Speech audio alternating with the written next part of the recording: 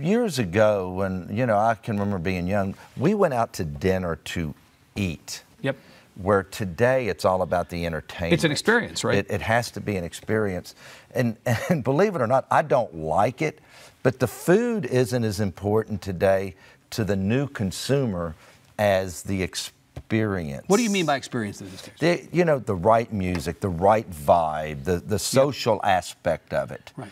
That it has become secondary to the food. Is that something you feel at this point expert enough in? I mean, you can do the food theoretically by getting the right chefs or making certain that the menu is right or choosing the right type of restaurant, and you own restaurants essentially in every single category out there. But the experience part to me seems a little harder.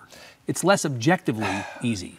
It, it is, but but you know, I have older concepts that uh, that were my first. Like Willie G's was one of the first, and and yet I finally moved Willie G's a couple of years ago into the new Post Oak project, and it's a totally different restaurant, but I still kept what made it what it was.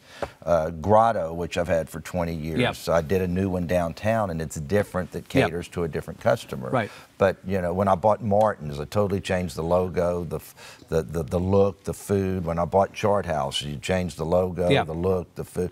You know, you just kind of And of course, these are restaurants. keep evolving. And You these are restaurants that, in many cases, are all over the country, right? They're not all located in your hometown of Houston. No, I'm in 40 or in your home state of Texas. and 12 so, what different works in one state certainly does not work necessarily in another state, right? You know, that is so funny you say that. Uh, my gumbo at Landry's and Willie G's would always get best gumbo in, in, in the city of Houston every Yeah. year, okay?